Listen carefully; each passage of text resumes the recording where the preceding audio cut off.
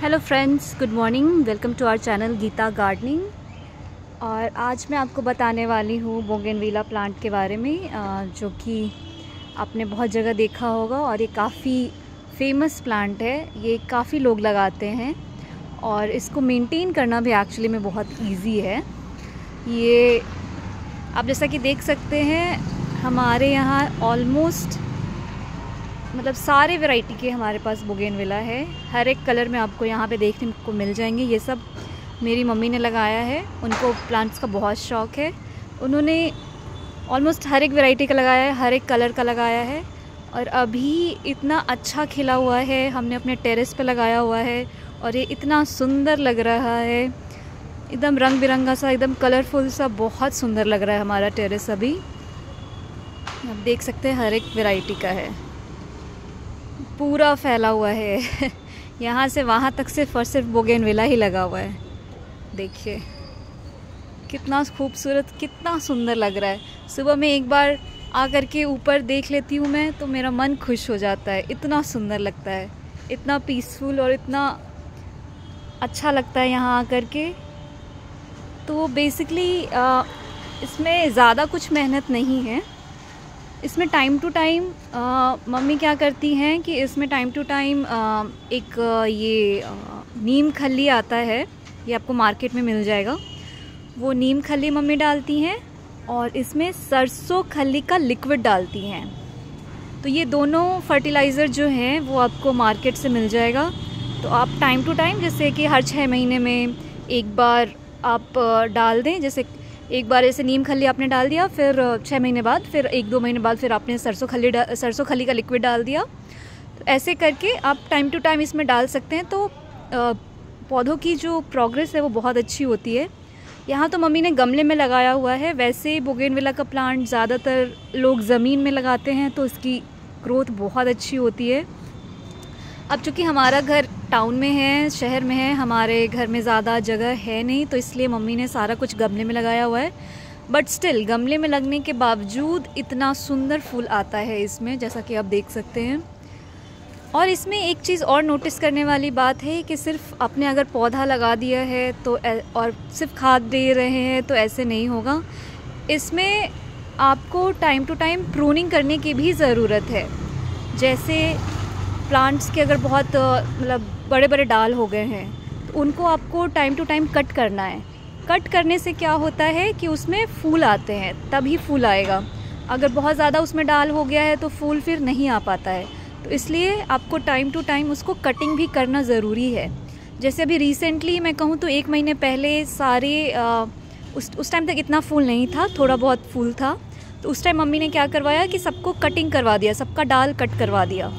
तो डाल जैसे ही कट हुआ, वैसे ही विद इन फिफ्टीन डेज़ इसमें फूल आना शुरू हो गया। वो भी इतना सारा, आप देख सकते हैं।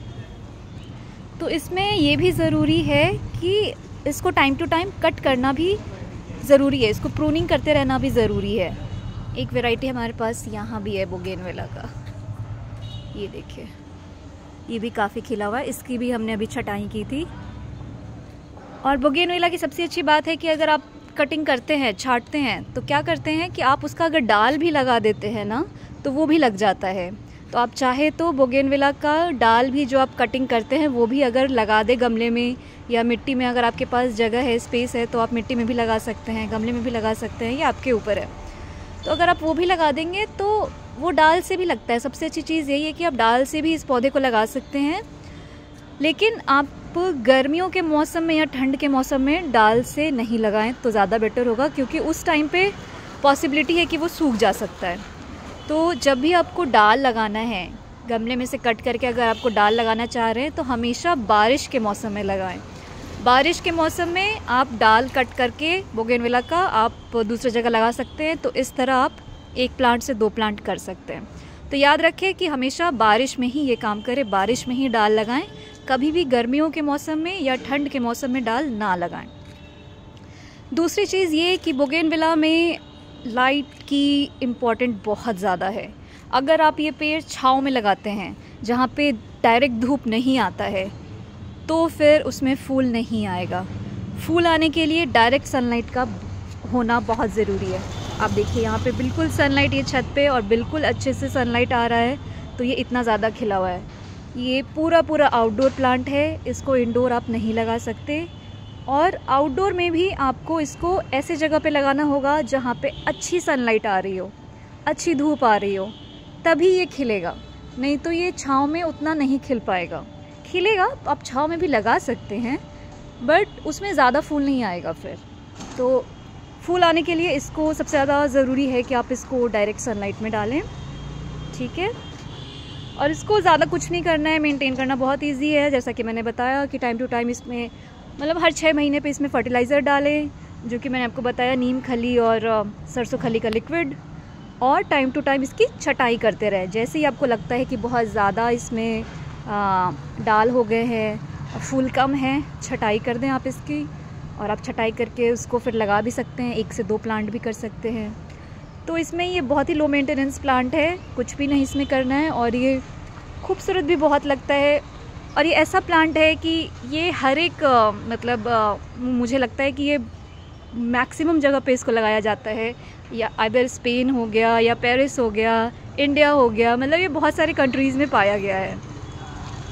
और ये काफ़ी खूबसूरत भी लगता है। आप देख सकते हैं कितना खूबसूरत लग रहा है एकदम। रंग बिरंगा इतना सुंदर लग रहा है।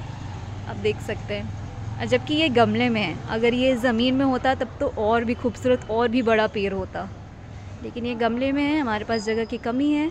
आप चाहे तो इसको ज़मीन में लगाएँ, ये बहुत सुंदर होगा, ये बहुत बड़ा पेड़ होता है। बहुत ऊपर ऊपर तक ऊंचाई पे, बिल्डिंग के छत पे तक जाता है, ये बहुत सुंदर होता है। फ़िलहाल के लिए इतना ही। आई होप कि आपको हमारा वीडियो अच्छा लगा होगा। अगर आपको हमारा वीडियो अच्छा लगा तो प्लीज़ लाइक और सब्सक्राइब ज़रूर कीजिएगा। तब तक के लिए बाय बाय